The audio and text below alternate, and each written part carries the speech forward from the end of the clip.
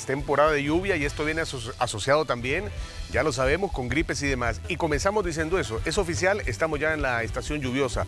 En nuestro país, mucha lluvia. Este viernes por la noche, cerrando el mes de abril, el 30 de abril, eh, una tormenta asociada con un sistema de bajo presión y un paso de vaguada también. El día eh, sábado había menos incidencia también de lluvias y el domingo también por la tarde se registraron en algún lugar. Eh, la radiografía es clara, el mapa termográfico pues nos muestra muchísima actividad en zona de convergencia y también en la parte costera pacífica de nuestro país y además comenzamos a ver también eh, movimientos en el Atlántico. Esto indica que a pesar de que estamos lejos todavía del inicio de la temporada de huracanes, que no coincide necesariamente con el inicio de la estación lluviosa en nuestro país, pero sí se ha pronosticado que va a ser una temporada bastante intensa en cuanto a eso. Recordemos que el año pasado incluso la temporada de huracanes comenzó antes de lo que estaba previsto y se superó el número de fenómenos que se esperaban, haciendo necesario incluso recurrir al alfabeto griego para nombrar a estas tormentas y a estos fenómenos.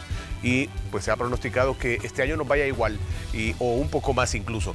Veremos si esto sucede. De momento, pues para El Salvador tenemos eh, precipitaciones en la zona occidental, ahí es a donde se esperan lluvias, cielos nublados, eh, de poco a medio nublados este día. Incluso existe la posibilidad de que tengamos instalada la probabilidad de lluvia en el gráfico. Lo vamos a mostrar ahorita. Las temperaturas se van a sostener en los altos, 29, 30 y 18 en las mínimas. Probabilidad de lluvia para toda la semana. Aquí estamos verificando justamente esto, lo que les decía. Hemos comenzado la estación lluviosa, así que no se va a descartar. Esto no quiere decir que va a llover los cuatro días. Esto quiere decir que eh, existen altas posibilidades de que tengamos lluvia en eh, toda la semana como el inicio de una estación lluviosa que se ha pronosticado y se ha anticipado desde hace varios meses como muy copiosa, que va a ser así, que va a traer mucha humedad y que va a representar un reto sin lugar a dudas para las autoridades, eh, tanto eh, locales como del país, para el tema de prevención y mitigación de riesgos y desastres también en la base de una estación lluviosa que promete bastante actividad. Tómelo en cuenta,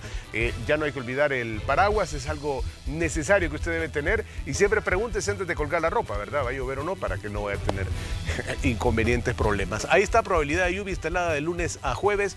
Temperaturas, ustedes ven que las máximas han bajado, ya no oscilamos los 30, sino que se mantienen 28, 29, 27 y las mínimas sí ya bajan de los 20. Así que claro indicador que a de ya el fin de semana pasado, este fin de semana, entramos en estación lluviosa. Tómelo en cuenta.